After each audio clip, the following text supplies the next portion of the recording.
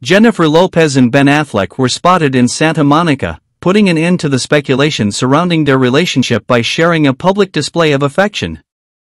The Oscar-winning actor and the on-the-floor singer seemed to take a page from Kanye West and Bianca Censori's book to address the ongoing rumors about their relationship.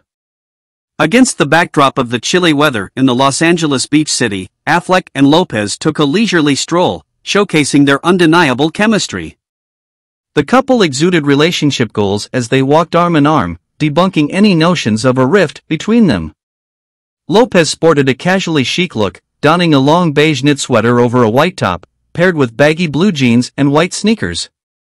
She added a touch of glamour with oversized black designer shades, holding her iPhone. Her trademark brunette tresses were elegantly tied up in a tight bun, creating a classic yet stylish appearance. Affleck complemented his superstar wife's style with a dashing ensemble, featuring a blue velvet bomber jacket over a blue t-shirt and khaki pants. The couple's coordinated and effortlessly cool outfits added to the charm of their outing.